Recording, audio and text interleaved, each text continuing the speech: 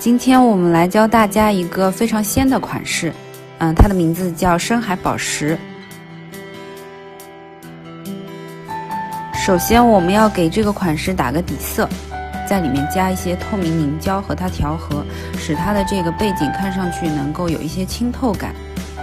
把两个颜色调在一起以后，平刷整个甲面，甲面上刷一次就够了，因为我们只是打一个简单的底。接下来我们还需要再做晕染，所以影响不会很大。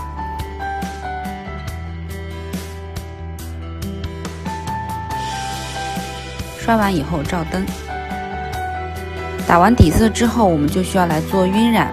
那么晕染的话，这个款式中我用到了好多个颜色，但其实呢，它就是两个色系，一个是蓝色系，一个是紫色系。我们需要把这两个色系的颜色调和在一起使用。会让它看上去更加的梦幻。操作完以后呢，我们就照灯。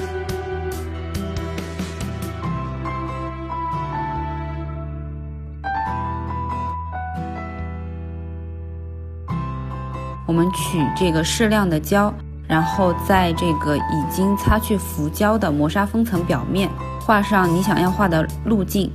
这个线要画的稍微。厚一点，这个胶要稍微多一点，让它有凸起的状态。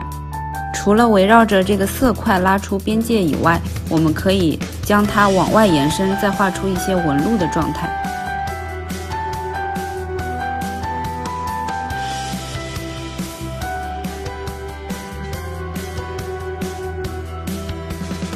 画完以后照灯，然后去按上这个转印贴纸。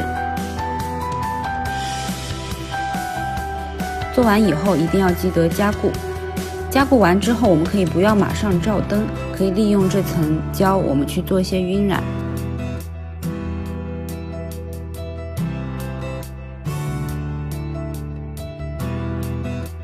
这里用到的颜色是嗯琥珀色系的一个透的深棕色和一个透的浅棕色，利用圆头笔在这个线条的周围可以做一些渐变的晕染。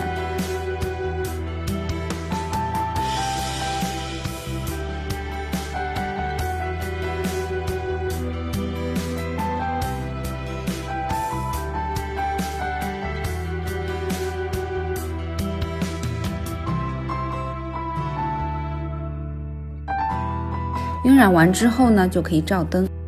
照完灯之后，我们可以再次在这个做过晕染的部分叠加一些棕色。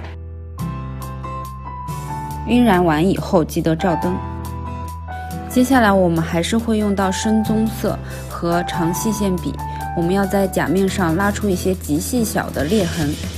那么这个裂痕拉的时候，一定要拉得很细，要跟刚才的这个粗线条有一些对比。线条的走向可以随性一些，线条一定要有这个转折点，要有力度，不能是软绵绵的，这样的话效果就不是会很好。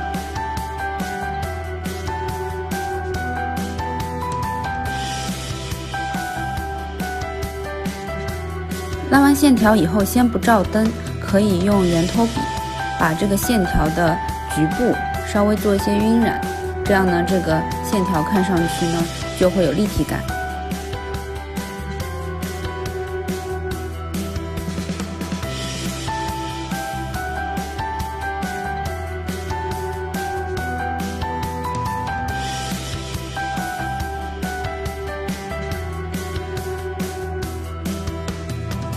照灯，最后在整个甲面上上完封层就完成了。同样，我们还是使用这个透蓝色、透紫色，以及我们刚刚提及到过的一些特殊的带闪粉的颜色，在这个已经做完底色的甲面上面随机的去铺一些呃色块，然后呢，也把各种颜色随机的晕染在一起，可以在这个色块的边缘稍稍加深。然后呢，在它的这个色块内部呢，可以形成一些条状、条纹状的这样的一个状态。做完第一层，先照灯。同样，我们做完第一层之后，会在第二层继续叠加，把较深的颜色先画出一条分界线，然后呢，我们再利用稍微透一点的这个同色系的颜色，去给它做一些渐变晕染的效果。做完之后照灯。第三层，我们一样可以叠加一些较闪的颜色，在这些交界处，增加它的这个清透感。那么也可以用这个透的棕色，在这个石纹的空的这一块区域做一些渐变晕染的效果。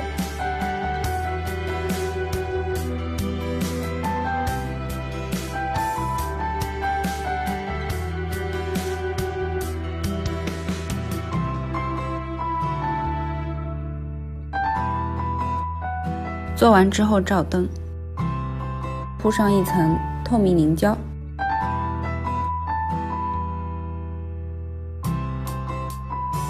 然后我们取适量的胶，随意的沿着某一个方向去拉出这个石纹的效果。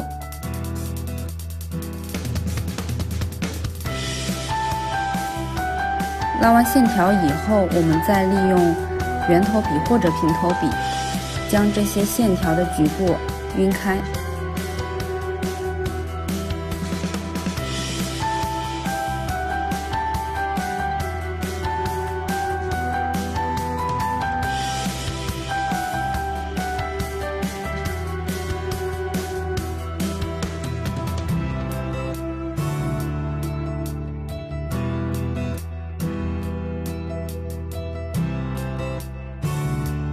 然后照灯，用这个细线笔用白色拉出一些随机的线条，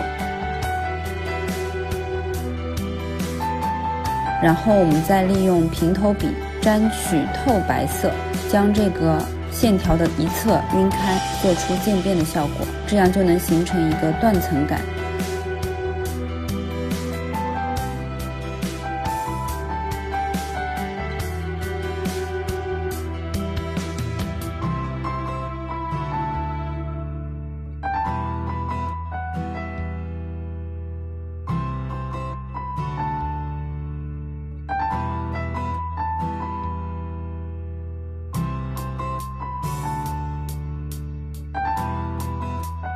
照灯，最后涂上封层，这个非常鲜的款式就完成了。